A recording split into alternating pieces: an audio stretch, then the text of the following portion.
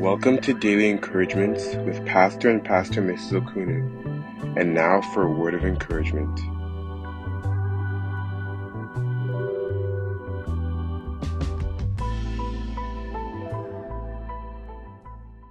Isaiah chapter 30, verse 15.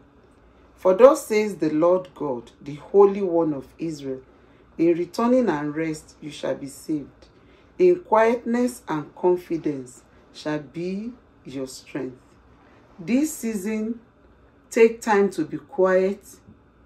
Take time to seek the face of the Lord. And as you do, the Almighty God will reveal mysteries unto you in the name of Jesus. I just want to be where you are, dwelling daily I don't want to worship from afar. Draw me near. Draw me near to where you are. I just want to be where you are. In your dwelling place forever. Take me to the place where you are. So I just want to be with you. I just want to be with you. I want to be where you are, dwelling in your presence, feasting at your table, surrounded by your glory, surrounded by your glory, in your presence.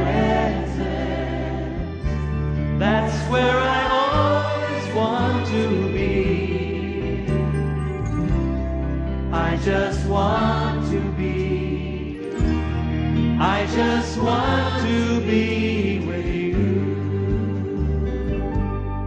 I just want to be where you are. To enter boldly in your presence. To enter boldly in your presence.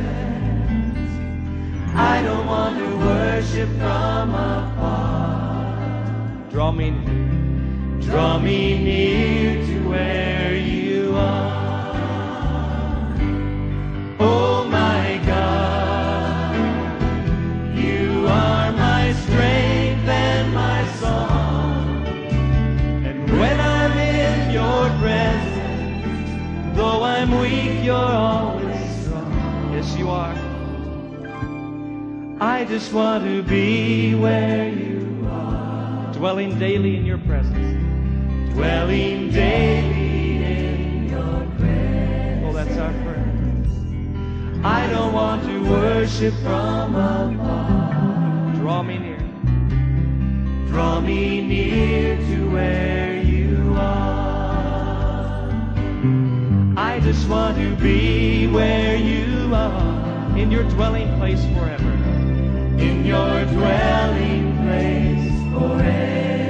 Take me to the place, take me to the place where you are.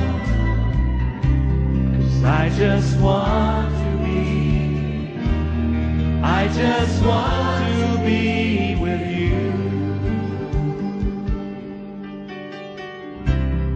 I just want to be.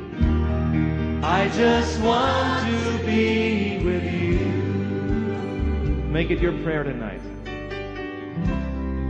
I just want to be.